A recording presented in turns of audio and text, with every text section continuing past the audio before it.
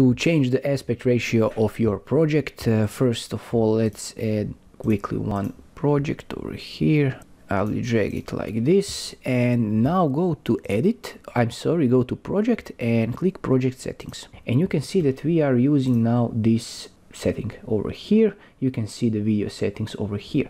I created my custom over here so uh, you see my setting my I'll show you how to do that. So all you need to do is to click over here manage project files and over here click uh, create new profile and click for example test one.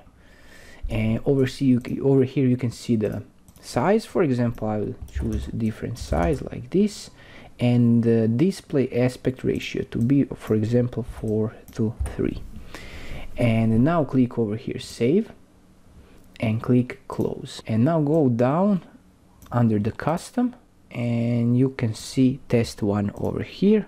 You can see the frame size frame rate pixel aspect ratio so on and click ok.